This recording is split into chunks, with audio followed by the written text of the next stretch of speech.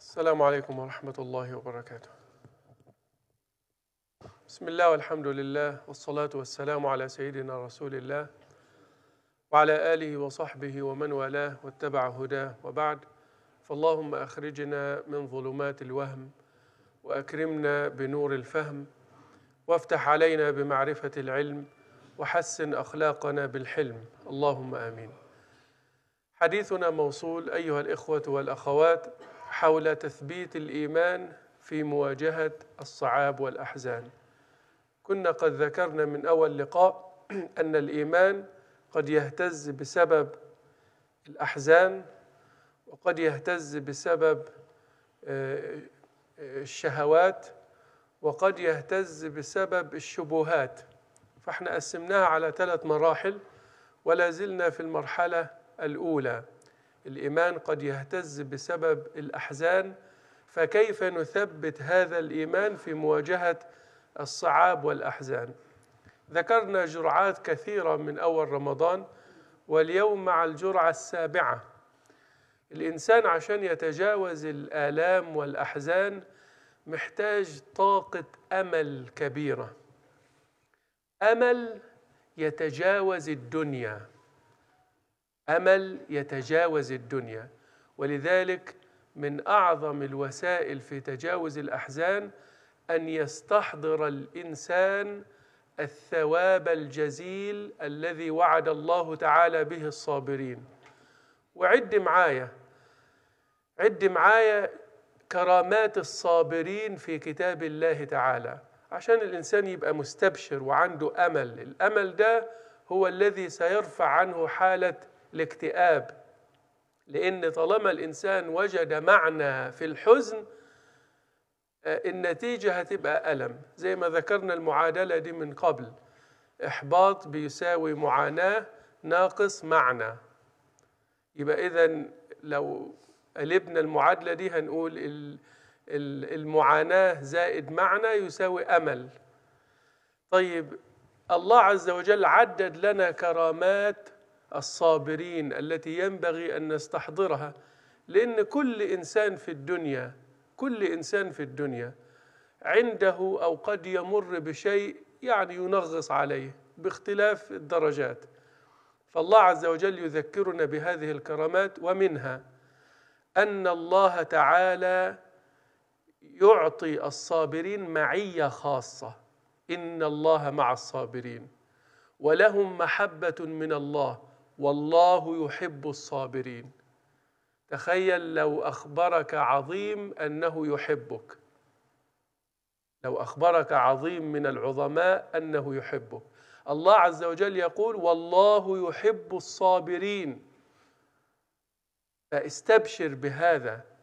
من ذلك أيضا الثواب بلا نهاية خارج عن أوهام الخلق. إنما يوفى الصابرون أجرهم بغير حساب. مش أنت بتقول إن الألم اللي أنت بتشعر بيه ده مفيش حد يقدر يفهمه أو يستوعبه أو يحس بيه؟ ولذلك الجزاء من جنس العمل. الثواب بتاعك برضه خارج عن أوهام الناس. محدش يقدر يتخيله. شوف ربك كريم ورحيم إزاي. هتقعد لك يومين وبعدين جنات عرضها السماوات والأرض مخلد فيها أبدا. وامبارح قلنا اليومين دول رياضيا صفر. فاكرين لما قلنا واحد ومليون وواحد وتريليون والآخر قلنا واحد إلى ما لا نهاية ده ملوش قيمة رياضيا.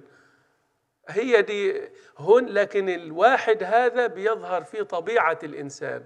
إنسان سلم ورضي فالله عز وجل يعده بذلك. إنما يوفى الصابرون أجرهم بغير حساب. من الكرامات أيضا كرامة عظيمة للصابرين في الجنة. لهم استقبال خاص. والملائكة يدخلون عليهم من كل باب. سلام عليكم بما صبرتم فنعم عقب الدار. تستاهل كام سلام عليكم بما صبرتم؟ تستاهل كام؟ سلام عليكم بما صبرتم. من الكرامات الدرجات العلى لأهل الصبر. أولئك يجزون الغرفة بما صبروا. من ذلك أيضا البشارة الخاصة وبشر الصابرين. إحنا بنقعد نسمع قصص إن الله يبشرك بالجنة إن الله أنا مبشرين بالجنة. في واحد أيضا مبشر بمغفرة من الله ورحمة. ده الصابر. ولذلك الإنسان يستشعر هذا المعنى ويستحضره ويرجوه. وبشر الصابرين. ال- ال- ال- البشرى دي جاية لك من ربنا. واحد ماشي على الأرض وله بشرى من الله عز وجل. ليه؟ بسبب عظم هذه المنزلة وعظم هذا المقام مقام الصبر. من ذلك أيضا ونختم بهذا ثلاثية. ثلاثية للصابرين لا توجد لغيرهم. الله عز وجل يقول أولئك عليهم صلوات من ربهم ورحمة وأولئك هم المهتدون. يعني إيه؟ يعني ثناء من الله تعالى عليهم في الدنيا والآخرة. ورحمة خاصة يملأ الله تعالى بها قلوبهم ويهديهم للأعمال الصالحة وأعمال الخير. ده معنى أولئك عليهم صلوات من ربهم ورحمة. فأوعى تظن إن الألم اللي بت... اللي بتمر بيه ده آه، هيمر مر الكرام كده لا ده ثوابه عظيم عند الله عز وجل. وأبشر طالما أنت حابس نفسك عن التسخط والجزع.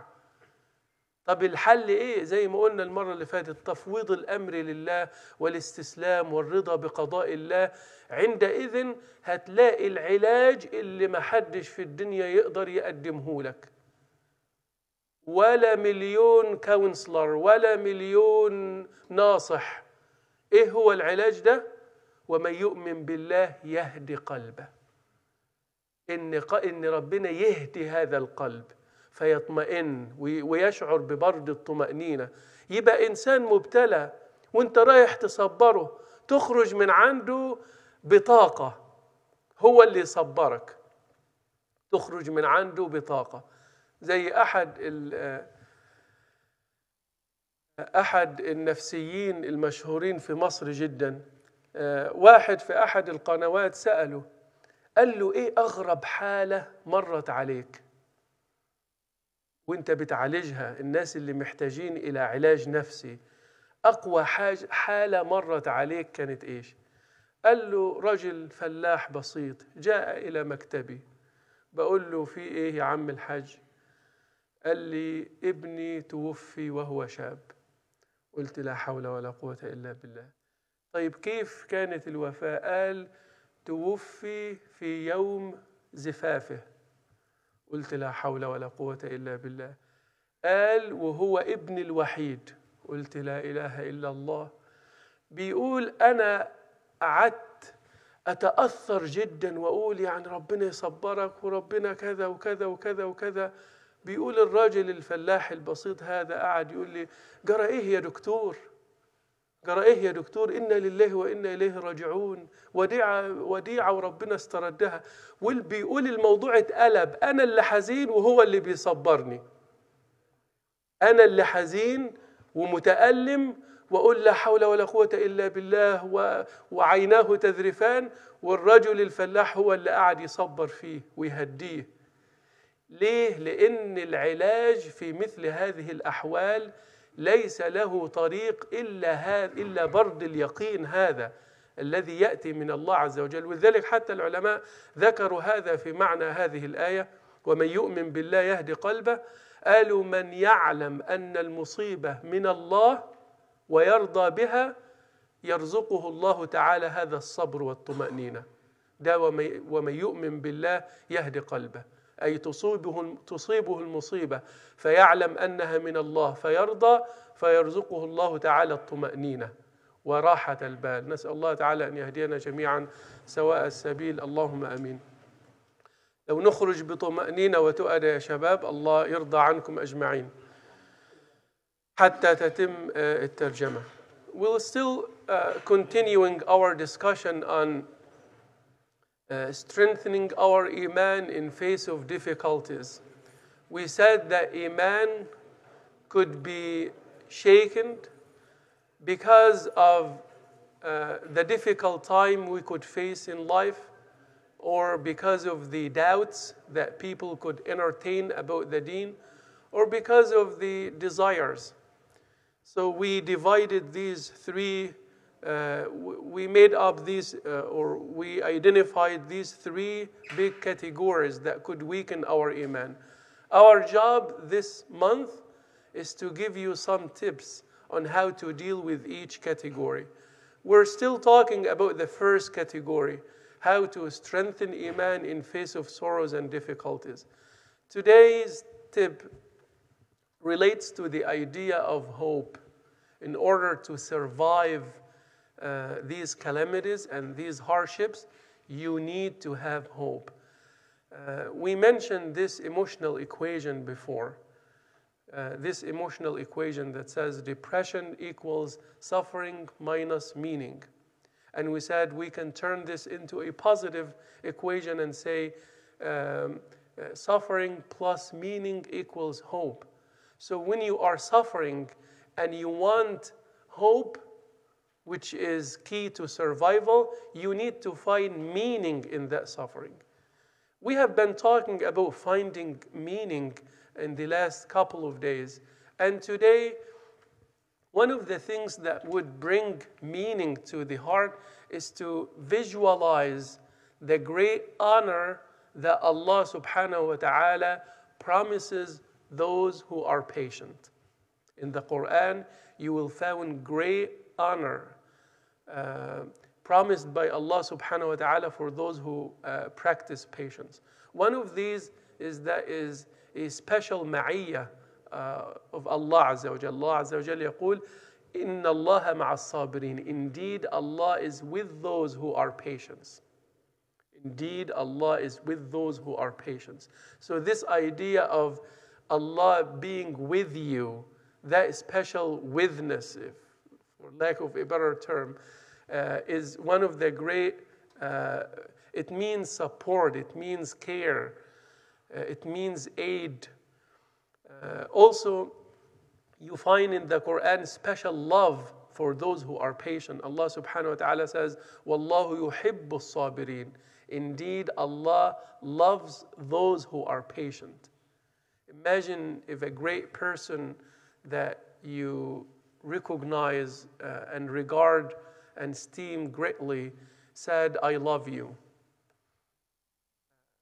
How comforting these uh, little words would be for your heart. Now, try to visualize Allah's love for you when you practice, practice patience. Because you have two ways. You, you could rebel and gain Allah's displeasure, or surrender to the will of Allah subhanahu wa ta'ala, as we explained before in the, in the other uh, sessions, and, and gain that love of Allah subhanahu wa ta'ala. Also, in the Quran, you find number three, you find abundance of rewards. Rewards that are beyond human comprehension.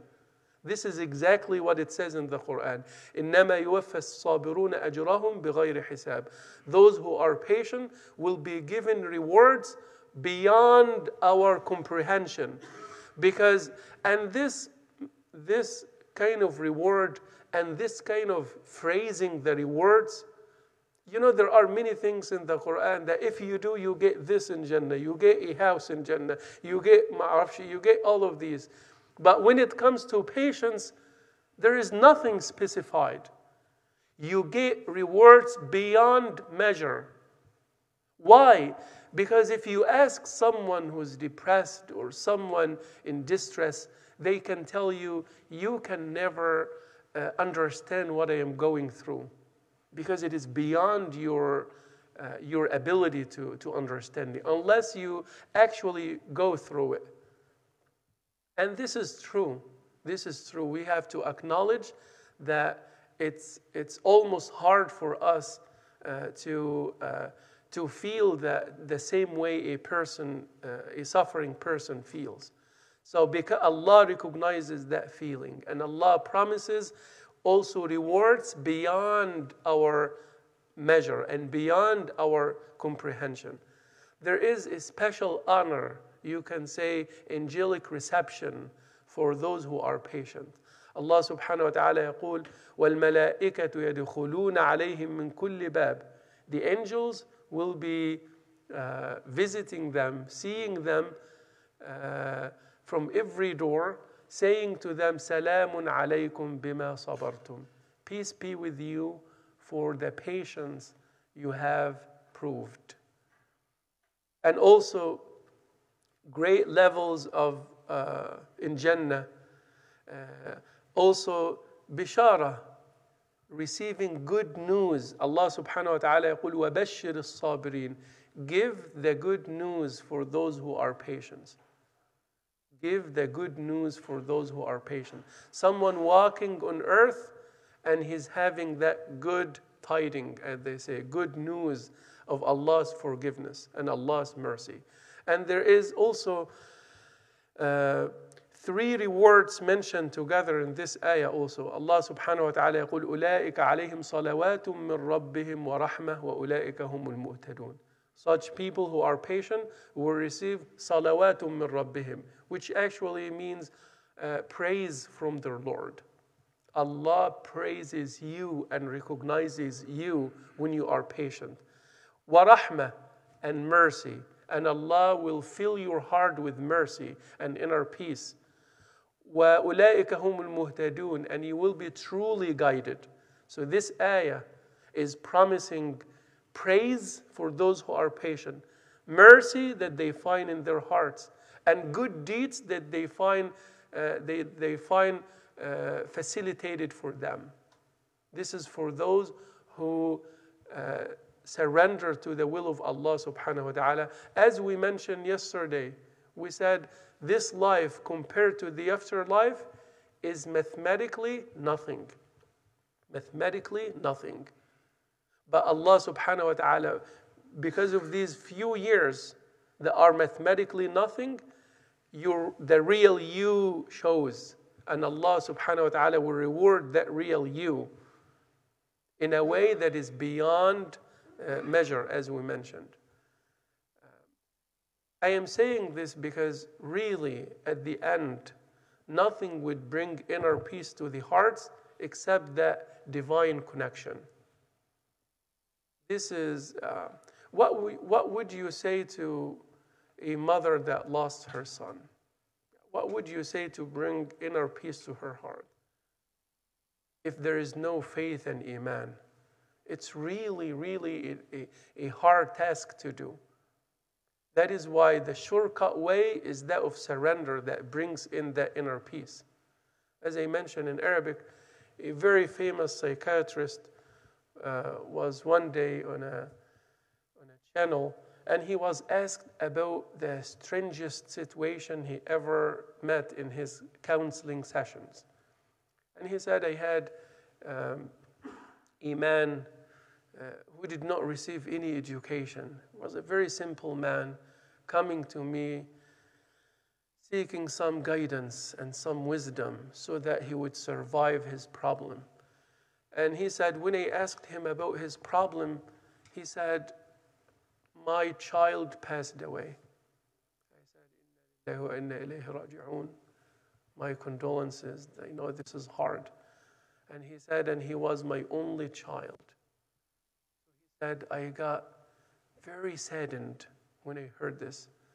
And then he said, and he passed away on his wedding day. And he said, I was totally saddened. He said, I was so sad, almost depressed, that he started telling me, we should, you should have faith, ya doctor, you should have faith. This is a trust from Allah. And Allah took back his trust. And we, we, we all belong to Allah, and to Him we shall return. And he said, things turned the other way around. And instead of me counseling him and uh, strengthening his heart, he started counseling me.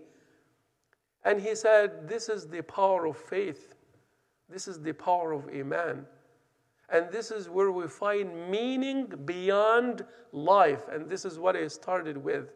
Sometimes to survive a problem, you need to find meaning beyond life because life does not provide meaning. And this is from a sheikh, There are situation, situations when life doesn't make sense, literally. When life does not provide meaning, literally. When you do not see any meaning in life, literally. The only thing that would make you uh, not distrust meaning is that life is not just here. This is one chapter. This is one chapter. Actually, a very small chapter in a very big book called Life. This is what would make what would make things start making sense, and everything in that big uh, system of, of, of the religious view of life would start to make sense. So, if you want to make sense of life, there has to be you, servant, God, life, the afterlife. And subhanAllah, I, I, I used to say this few years ago that to be spiritually smart, you have to have the right view about who you are, who Allah is, what is this life, what is the afterlife. Two days ago, I was reading one of these books and I found a very uh, precious book that I bought a few months ago. And this book was a summary of all of the works of Imam al Ghazali. It was written a couple of hundred years after he died. But that book was divided into four chapters. Into four chapters. Who you are, who Allah is, what is life, what is the afterlife. I said, SubhanAllah, that was what I was convinced, that was my conclusion. But it seems that it was an old conclusion that was made by this scholar to summarize all of the works of Imam al Ghazali. He left a great tradition on Muslim spirituality. And this great scholar came right after him to say, okay, I read everything, let's put it down into four sections. Um, Allah ta'ala a'la wa a'lam. And sorry for keeping this longer. Allah ta'ala a'la wa a'lam. Wa khairan.